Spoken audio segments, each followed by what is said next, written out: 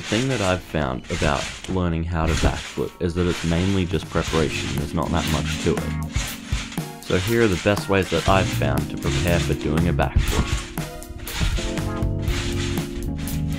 If you can jump up and land on your back this clean, chances are you can probably backflip.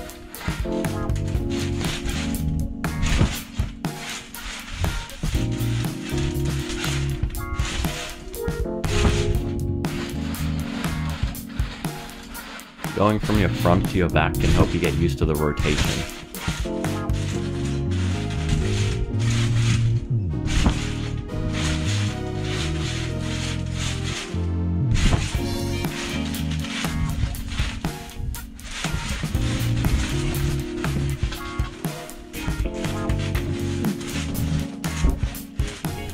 Eventually, once you think you're ready, you just have to try.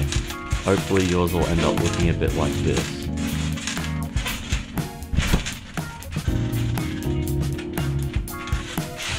Once you land your back backflip, you'll find it's a really fun trick to just play around with.